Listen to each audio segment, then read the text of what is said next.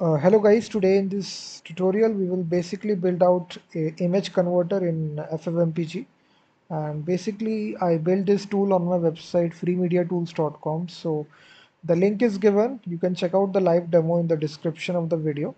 So we have a choose file button where you select your image file. This can be any image PNG JPG then we have the format here in the select field. Let me select here JPG click on that so the file will get uploaded, the progress bar will be there and now your output file is converted to JPG file. So this image is converted to JPG guys, you will see the quality remains the same here. And now if I select that JPG image that I downloaded right here. So I select this image right here. If I want to convert this into PNG, so once again that image will now convert to PNG, you will see that. So you can select any image. It's a very simple image converter. So we are using a library called as FFmpeg for doing this. FFmpeg basically allows you to convert your images also, audio, video also.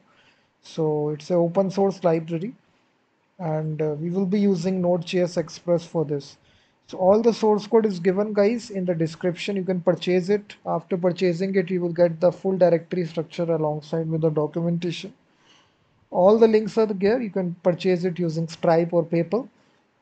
Check out the full description. So first of all guys, what I will do, uh, I will simply show you this index.html file. So if I type here localhost 5000, where we are developing it. So this is a simple interface guys. So we are including bootstrap CDN right here at the top.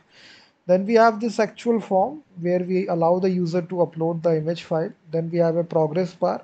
Then we have a select list where we have different values PNG, JPG, GIF, TIF, BMP, WMF. Then we have a button out there and uh, right here we are including jQuery as well. So we have this on submit event handler. So here we are basically first of all uploading the image using this post request. We are using here dollar ajax here if you see making type post data we are sending. So here we are sending right here if you see form data we are using and now we need to make this post request right here in the slash upload image converter. So here we will upload the file using Multer guys. Multer is basically a dependency in for you can see we have built out a storage object. We will upload all the files in our public slash uploads folder. So all the files will get uploaded right here. So now we will basically make the Multer middleware. We will pass the storage that we constructed we will upload a single file at a time here and then we will use this middleware.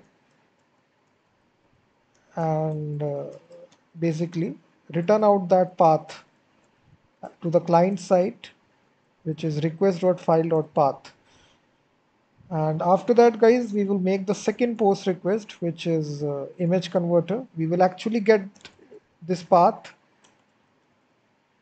if you just refresh your application we are making a second post request if you see image converter so here we are passing the actual path and the actual format which is selected by the user. So if you see right here if you select any image file so if you check the console here so you can see that the image file has been successfully uploaded and we get the path here so now we will basically get these two things. First is the path, which is request.body.path and the actual format. Request.body.format. And uh, after that, we will basically execute our ffmpeg command, which is path. We will convert this to into the output file so output file name will be dynamic guys. So for here, we will say that date dot now and uh, output dot followed by the format variable. That's all. This makes it dynamic.